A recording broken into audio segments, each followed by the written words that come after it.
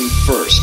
Shitty rave music or the drugs? These guys make uh, come up, you know, get their Macintosh computers out and hire DJ Fuckhead. What are you? I'm a musician, man. I'm a DJ. You're a fucking thief of music. Oh wow, it's jungle trance hip hop, fucking shit music. Here, put that on a white label 12 inch. Send it to the clubs. Wow, man, you're brilliant. So you make music that shitty, and everyone sits around and goes, God, this sucks. What the fuck happened, you guys? Where's the balls? You need someone